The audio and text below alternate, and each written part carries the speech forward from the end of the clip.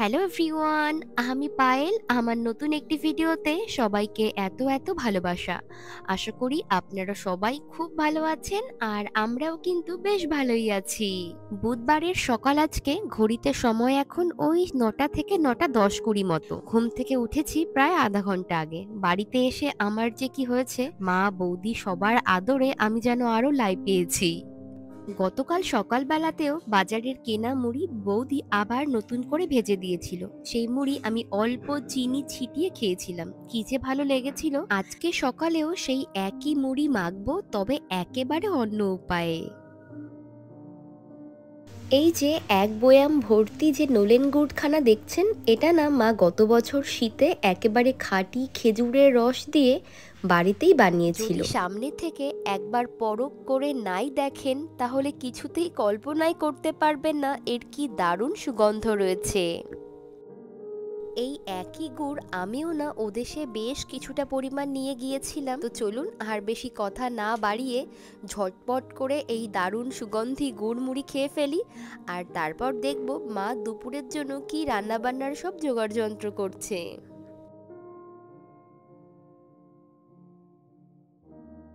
লোটে মাছ ও দেশে একেবারে ফ্রেশ পাওয়া যায় না, যা পাওয়া যায় সেটাও ফ্রোজেন তবে বেশ কয়েক মাস হয়েছে, ওই ধরুন সাত থেকে আট মাস মতো সেটাও পাওয়া যাচ্ছিল না। মা সেটা জানতো, বাবাকে বলে তাই আজকে ফ্রেশ ফ্রেশ লোটে মাছ আনিয়েছে। লোটে মাছকে অনেকে আবার আমরা লোটিয়া মাছ বলেও ডাকি, তবে আমাদের এখানকার আঞ্চলিক ভাষা অনুযায়ী এই মাছকে আমরা লোটে মাছই বলি। সাইজগুলো দেখে না আমি ভীষণ বিস্মিত হয়েছি। আমি আর বৌদি এখানে পেয়ারা শিল নোড়া তেঁতুল ফেতুল এগুলো সব কিছু নিয়ে বসেছি লেবু লঙ্কা লেবু সঙ্গে আজকে এই চিনিও আছে। তো আজকে আমরা পেয়ারা মাখা করব। ওখানে খুব বেশি রোদ্দুর নেই আজকে এমনিতেই রোদ্দুর অনেক কম সকাল থেকেই। সে যাই হোক গে চলুন পেয়ারাটা মাখতে শুরু করে দিই। গতকালকের হাট বাজারের যে ভিডিও দেখেছিলেন সেখানে তো আপনারা দেখেইছেন এই পেয়ারাগুলো কিনে এনেছিলাম। প্রায় ওই আধা কিলো মতো পেয়ারা ছিল একটা আমি কাঁচাই কামড়ে কামড়ে খেয়ে নিয়েছিলাম। বাকি যা ছিল সেটা আজকে দুপুরে মাখা হচ্ছে।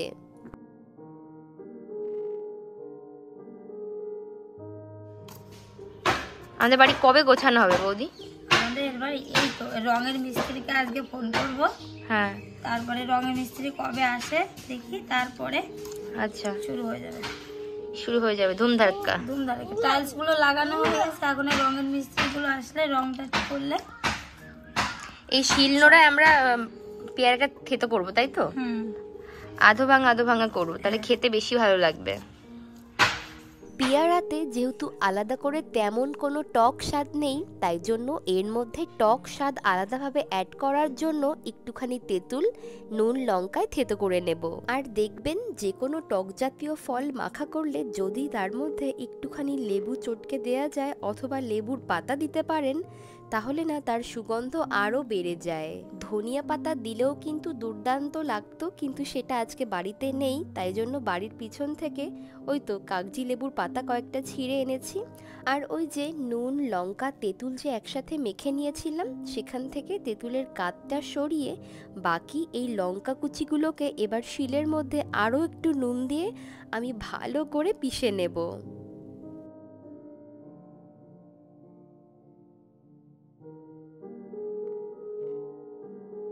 ওদেশে তো আমরা সারা বছর টক ফল পাই না, তবে ভিয়েতনামিজ দোকানগুলোতে মাঝে মাঝে আম পাই।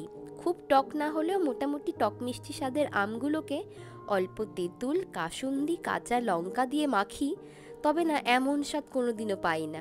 আসলে টক ফল তো সবাই মিলে আনন্দ হৈহুল্লোড় করে খেতেই যেন এর স্বাদ আরও বাড়ে।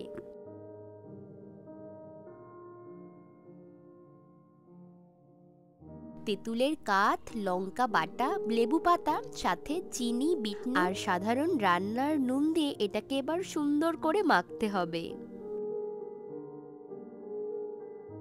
ভিডিওগুলি বেশ কয়েকদিন আগেই তৈরি করা কিন্তু এডিট করতে গিয়ে আমার এখনও যেন জিভ দিয়ে জল ঝরছে। এত ভালো লেগেছিল খেতে ভাবছি বৌদিকে এর পরের দিন আরও বেশি করে মাখতে বলব। আর যে কদিন আমি এদেশে আছি প্রত্যেক দিনই কিছু না কিছু টক ফল তো খাবই।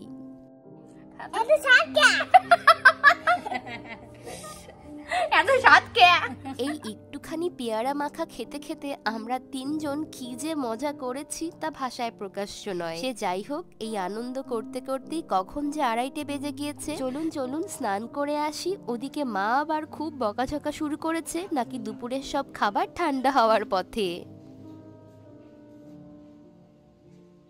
একে তো আমি বাড়িতে এসেছি, মাকে না জানিয়ে। তারপরেও বাড়িতে চলছে নানান রকমের কাজ, ওই তো ঘরের কাজ যেগুলো আর কি। প্রত্যেক দিন টুকটাক টুকটাক একজন দুজন মিস্ত্রি কাজের মধ্যে লেগেই রয়েছে। তার মধ্যেও মা আর বৌদি যথাযথভাবে আমার মনোরঞ্জনের জন্য কত যে চেষ্টা করছে, যতই বলি, বাপু, আমি তো আছি কদিন। থাকব, আনন্দ করব হই হুল্লোড় করব, তাতেই তো সব। কিন্তু কিছুতেই না ওদের বোঝাতেই পারি না। আসলে সব সময় মা আমাকে কাছে পায় না তো, তাই যখনই পায়, তখনই যেন চায় সব কিছু একসাথে করতে।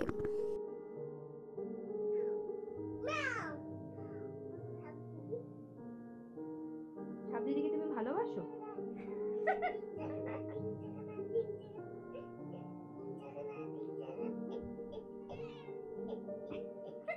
সাপুনি তোমাকে সবাই দেখে নিল।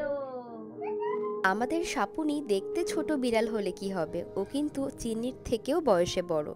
হিসাব মতো ও চিনির দিদি হয়। আর চিনি ওর বোন। আর ওই কারণেই চিনি সবসময় সাপুনিকে সাপ দিদি বলেই ডাকে। আর জানেন তো, এই কয়েক বছরে সাপুনির যে কত শরীর খারাপ হয়েছে? মা বাবার অক্লান্ত পরিশ্রম আর অসীম ভালোবাসায় ও বারবার সুস্থ হয়ে এসেছে।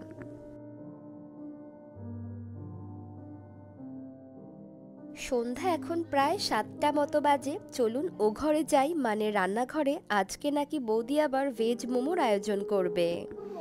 সবাই কি বলে দাও কি বলতে চাও? মো হ্যাপি মোবাইল হ্যাপি মোবাইল কি? আমার পিপি চ্যানেলের নাম হ্যাপি মোবাইল আমার চ্যানেলের নাম তোমার চ্যানেলের নাম হ্যাপি মোবাইল হ্যাঁ আর আজকে আমরা মোমো খাচ্ছি? হ্যাঁ মোম খাচ্ছি। সবাইকে খা- সবাইকে নিমন্ত্রণ করে দাও। আপনি সবাই হ্যাঁ সবাই খাবে তো। আজকে মোমো বানাচ্ছি। ভালো করে বলো এবার বলো। আমার বাড়িতে চলে আসো। ঠিক আছে।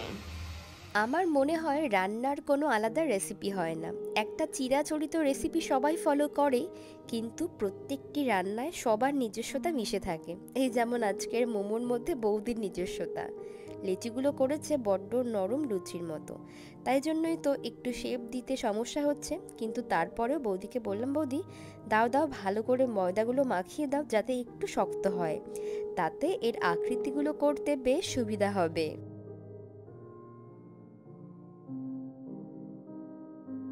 এখন চলুন একে একে সব মোমোগুলো স্টিম করে নিয়ে বৌদি একটা প্লেটে তুলে দেবে আর আজকের ভিডিওটা এখানেই শেষ করছি। ভালো লাগলে লাইক কমেন্ট শেয়ার আর সাবস্ক্রাইব করতে কিন্তু একদম ভুলবেন না। সেই সাথে আমার ফেসবুক পেজটিও ফলো করে দেবেন। দেখা হচ্ছে পরবর্তী ব্লগে সবাই ভালো থাকবেন সুস্থ থাকবেন। Tata bye bye you baby I love you too মাম্মাম। এটা লাভ পারছ লাপাড়িছি হ্যাঁ